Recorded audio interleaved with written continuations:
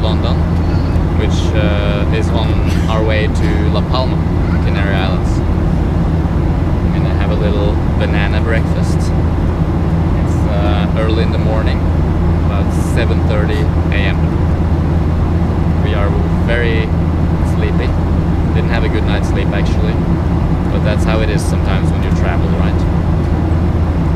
Of course, as you probably know, you can always bring your own food on the plane, so we don't have to rely on whatever they have on on board. We can just eat our own food, and um, there's no real point in this video other than little vlog. I just want to share, you know, that we are on our way to La Palma, which is going to be a mango feast for two months. And it's going to be cherimoyas and avocados and papayas and bananas and some other things as well. We look forward to sharing with you, of course.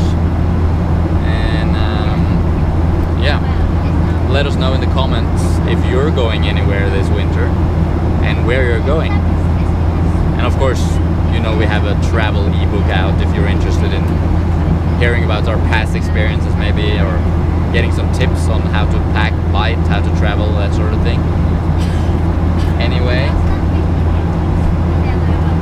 beautiful view. A lot of clouds basically and the sunrise in the distance. We'll probably get to see the sunrise, I think. Mads is behind the camera. And um, yeah, that's all for today. Thanks for watching. Thanks for joining us on this little trip. We look forward to sharing, and it's banana time up in this.